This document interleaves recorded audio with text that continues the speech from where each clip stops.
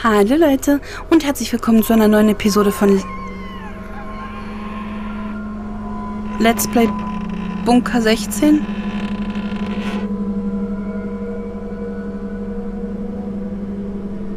Bei dem wir eigenartige Geräusche hören und in der letzten Episode von diesem Paket hier abgeschmissen wurden.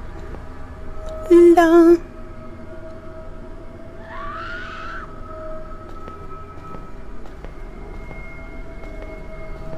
Ich würde sagen, wir nehmen die alte rechts mit.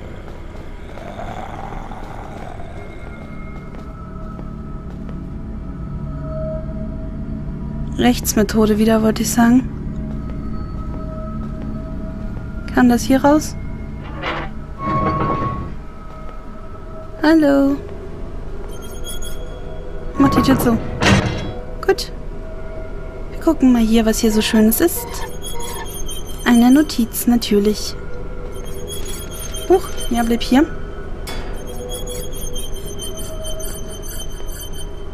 Gut, Tür ist noch zu. Alles sicher. Ähm, für einen Moment dachte ich, das ist vielleicht nur ein Traum. Es klingt immer schleimig, aber ich glaube, das sollen die bröselnden Wände sein. Ich habe mich selbst ins Gesicht geschlagen mehrere Male, aber es hat nicht geholfen. Ich bin immer noch hier. Das passiert wirklich. Was ist das für ein Ort? Ich höre jemanden rumlaufen. Ich muss mich verstecken.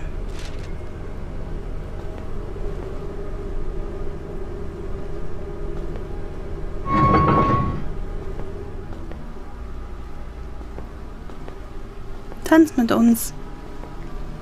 Später vielleicht.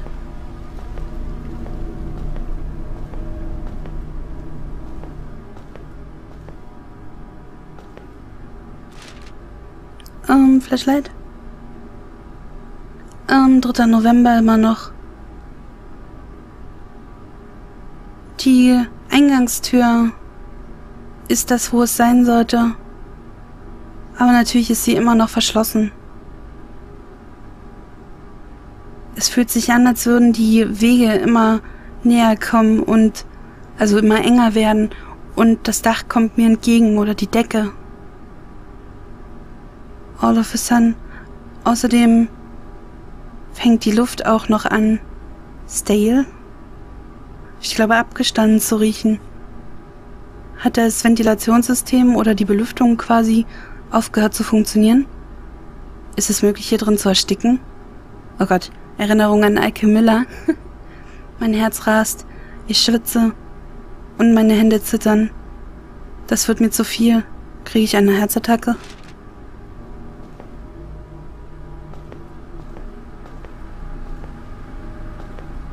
Hoffentlich doch nicht. Und wieso finden wir nirgendwo einen Schlüssel? Gibt es überhaupt diesen verdammten Schlüssel?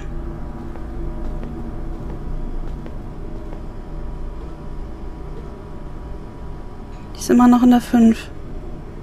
Okay, wir haben auch noch keine andere Anweisung bekommen. Alles schimmlig in dem Ding schon. Bah. Das Ding ist auch an.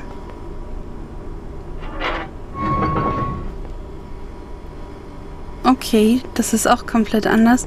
Da war vorher nur die kleine Vorratskammer drin. Jetzt sind hier die Schieß Schießscharten. Okay, können wir das... Oh. Machen wir mal Licht wieder aus. Ich hätte es wissen sollen. Diana ist ein verdammter Spion. Sam hat sie erwischt, als sie versucht hat, heute Morgen allein hier rauszuschleichen. Sie hat versucht, eine Karte zu stehlen und ein paar Essensrationen. Sie wird dafür bezahlen. Wir haben ihr vertraut und sie hat uns betrogen. Fürst, aber zuerst werden wir ihren Kopf rasieren? Okay. Oh Gott. Keine Jumpscares, habe ich gesagt. Gott mit uns. Oh, ich gehe mal ein Stückchen zurück. Nicht, dass wir hier in die Decke gedrückt werden. Hier ist aber nichts drin. Die Schießscharten. Ich bin immer noch hier.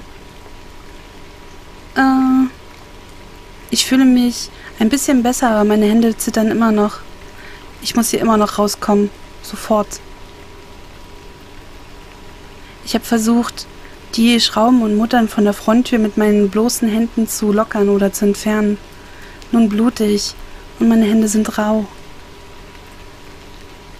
Ich habe mich umgedreht, als ich jemanden flüstern hörte, wie er meinen Namen hinter mir sagte. Aber da war niemand.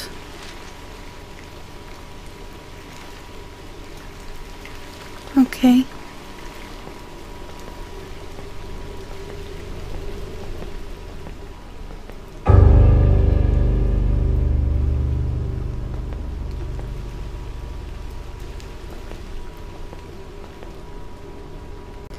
So, da bin ich wieder. Entschuldigt bitte den kleinen Schnitt, aber das Telefon hat geklingelt.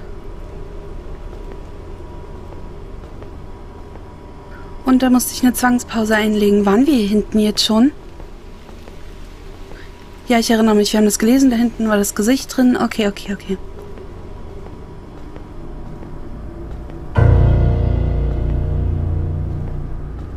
Wo habt ihr das Klavier her?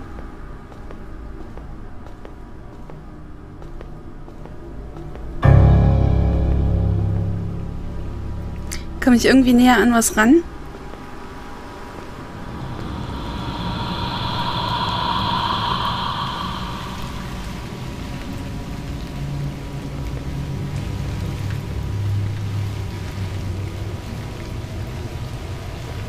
Okay, nur ein Soundeffekt, hier kommt nichts. Ich bin nicht allein hier, ich war es nie.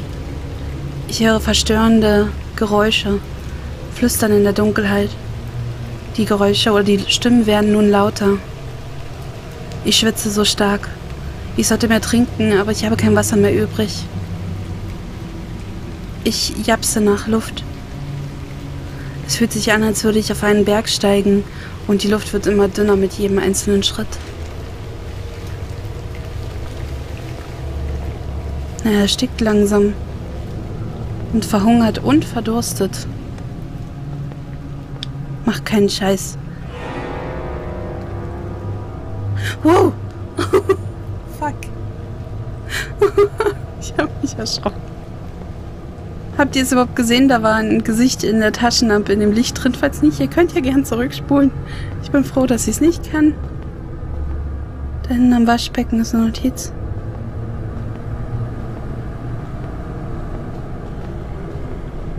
Oh,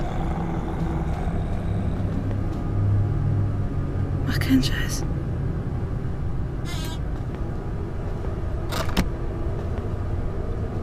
Da ist nichts, ne?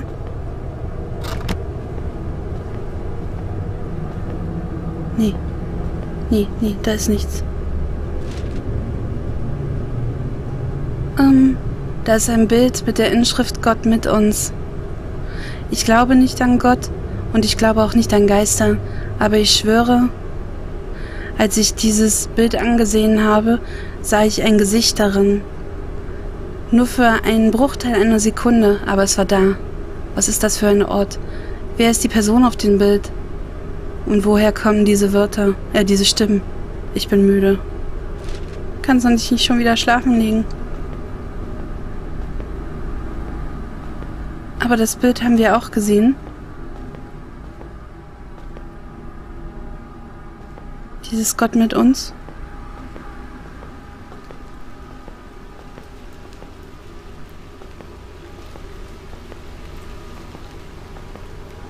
Okay, wir sind bestimmt gleich wieder am Eingang. Da sind wir doch schon. Hier haben wir schon alles durchgeschaut. Huh.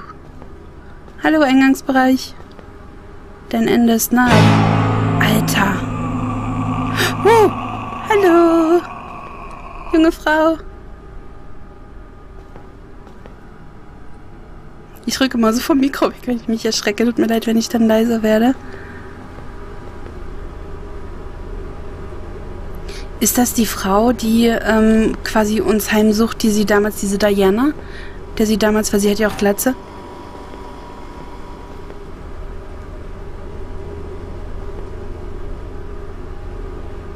Was war das für ein Geräusch?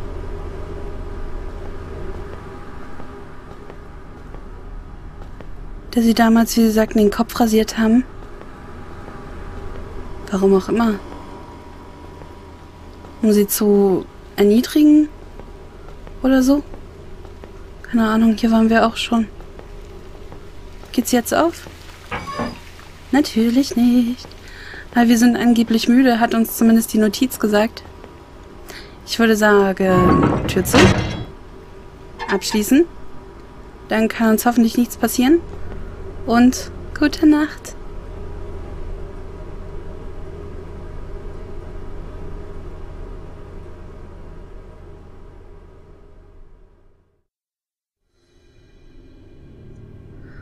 Warum sind wir wach? Wo sind die anderen Betten?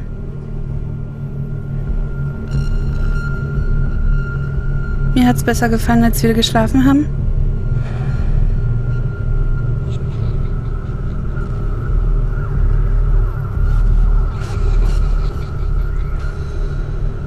Oh. Hör zu lachen.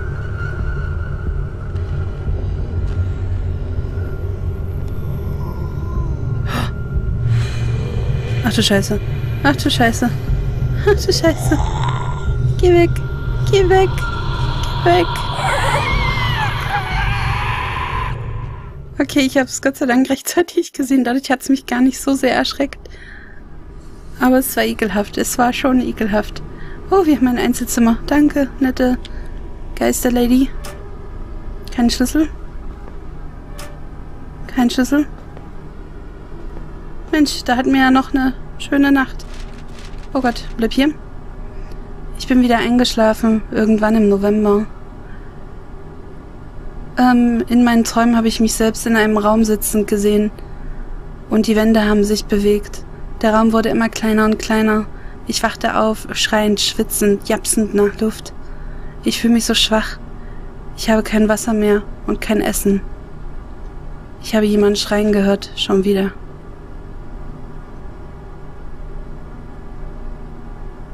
Die Lampe halb kaputt, halb nicht? Oder was ist hier los?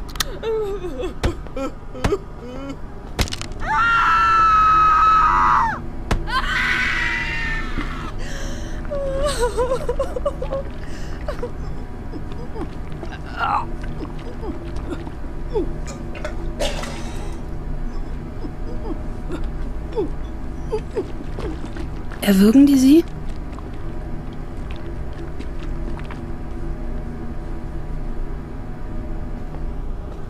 Also sie haben offensichtlich... You're not tired. Ja, wir sind nicht müde, ich weiß. Sie haben sie offensichtlich erst geschlagen. So hat es zumindest geklungen. Und dann... Und dann erwürgt? Oder ihr irgendwas zu trinken gegeben oder so? Sie hat ja nach dem Würgen sich so erbrochen oder sowas. Lady, wir haben dir nichts angetan. Vergiss das mal nicht. Gott mit uns. wir gehen erst rechts lang. Ich, ich möchte einen gewissen Weg drin haben. Um zu wissen, wo wir schon waren und wo nicht. Was ist das? Ach, das ist das Angeschraubte.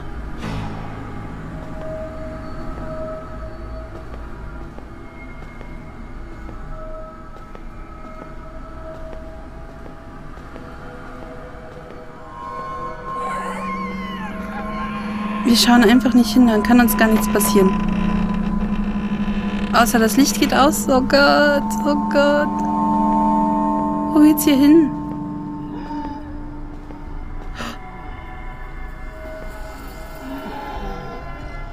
Der Kopf bewegt sich. Und er atmet.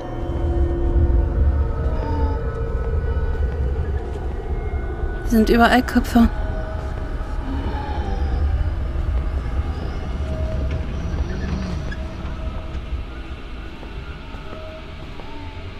Alter Schwede. Sind wir da wieder am Anfang? Nee, hier ist die Toilette. Hier sind wir. Anfang. Und sie erstickt. Aber liebe Leute, ich, ich bin gerade total einfach wirr durch den Bunker gelaufen. Und ich würde sagen, ordentlich machen wir das Ganze nochmal in der nächsten Episode von Bunker 16. Bis dann. Tschüss.